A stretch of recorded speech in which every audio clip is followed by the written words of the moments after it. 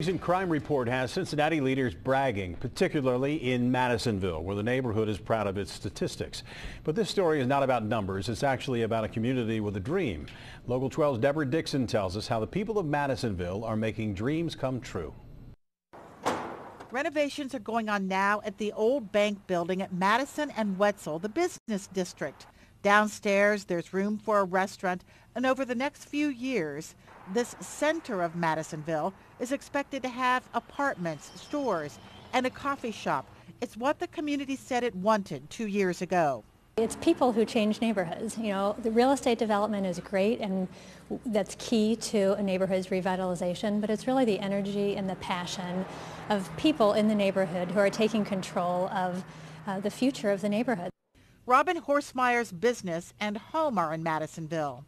As long-term residents, we've all heard about great things that were coming to Madisonville. And, you know, we're going to be doing this. We're going to be, you know, it's been coming down the road for a long time. And this is the first time in all these years that we actually can see tangible things starting to happen in our community.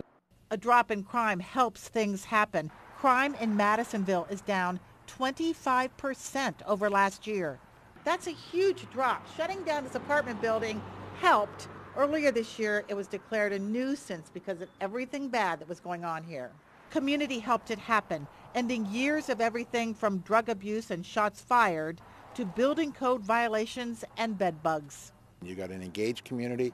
You've got people willing to be involved. You've got a police department, a fire department, a city that's willing to work on the problem together. You can do anything, and this is an example. Madisonville works at more than development. It works at building the community's character with events such as Friday night music on Madison, the 5K run. Last year's jazz and barbecue night was a huge hit. The Jazz and Barbecue Festival is another example. In fact, last year someone said at that event, Madisonville has community again. Community with a vision. Here it is, the Madisonville of tomorrow, coming soon. Deborah Dixon, Local 12 News.